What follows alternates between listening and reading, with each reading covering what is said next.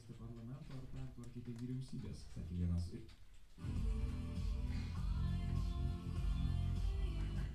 Kaltinimus neigia ir tvirtina, kad šie rūmai bučoje buvo inscenizuoti.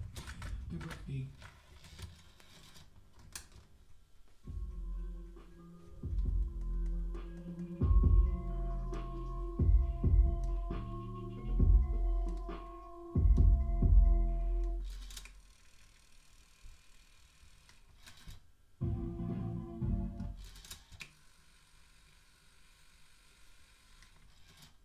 Mm-hmm.